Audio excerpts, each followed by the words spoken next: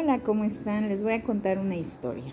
Todo empezó así como se empieza una obra o un dibujo con un puntito azul en una hoja en blanco.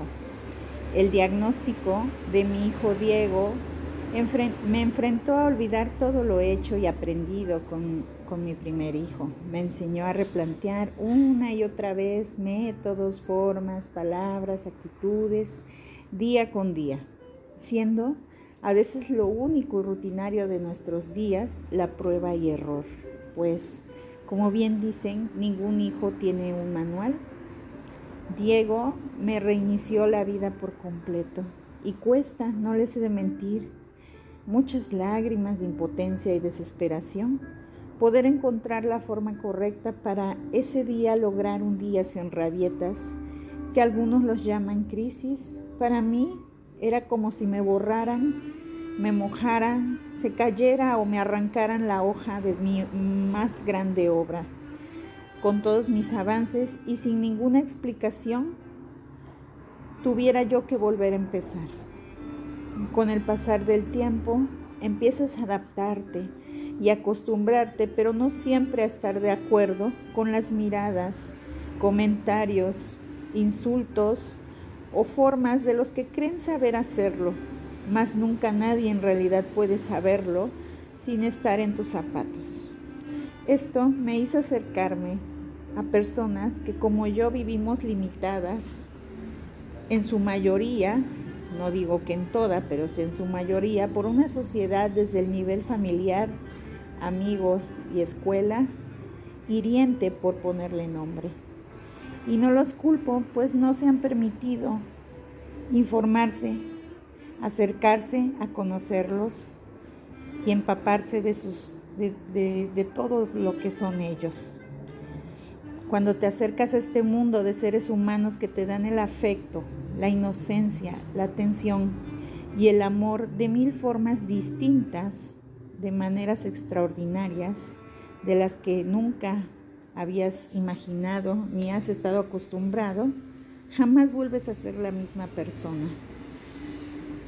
Te vuelves fan de sus manías, de sus formas tan singulares de ver la vida, de los retos diarios con sus cambios de estados de ánimo y de los festejos, festejos maravillosos, desenfrenados, cuando ellos logran algo y tú con ellos tienes unos avances inexplicables y simplemente te das cuenta que todo esfuerzo, lágrima y caída han valido la pena por ese breve instante. pues sostener su mano es el mejor de los aprendizajes como madre y como maestra doy gracias a Dios que me brindó dos hijos maravillosos, de los cuales Diego, con su diagnóstico de trastorno del espectro autista nivel 1, me incluyó, perdón, nos incluyó a su hermano y a mí a un mundo maravilloso, rodeado de padres incansables, con un, con un corazón enorme y con una fe reflejada en sus hijos, mis alumnos, monumental. Actualmente Diego cumplirá en pocos días 15 años y es un niño muy alegre que ha superado muchas limitantes, siempre con valentía y alegría. Está próximo a entrar a la prepa y gracias a sus profesores, psicólogos y compañeros que lo acompañan, aún con sus cambios por la edad, ha sido el mejor de mis maestros de vida y de muchos de los que tienen cerca. Estoy muy orgullosa de ser su madre y muy orgullosa de todos y cada uno de mis alumnos. Y esto que estoy haciendo es parte de lo que Diego le sirvió como terapia, estructurar pixelar en mil formas distintas y relajarse haciendo algo como esto. Yo sé que él va a tener logros mayores que esto, sé que esto solamente es una parte del camino y aquí voy a estar yo para hacer su trampolín, impulsarlo con mucho gusto mientras Dios me lo permita y muchas gracias, fin de la historia.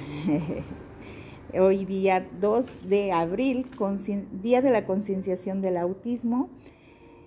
Para mí más que una necesidad, es un gusto disfrutar, compartirles un poco eh, de, la historia de mi vida para que en la medida de lo posible les demos estrategias, opciones y oportunidades reales a todos ellos para mejorar su calidad de vida de todos los, nuestros allegados y personas que incluya el autismo en sus diferentes niveles. Les doy gracias a Dios por rodearme de ellos. Mil gracias.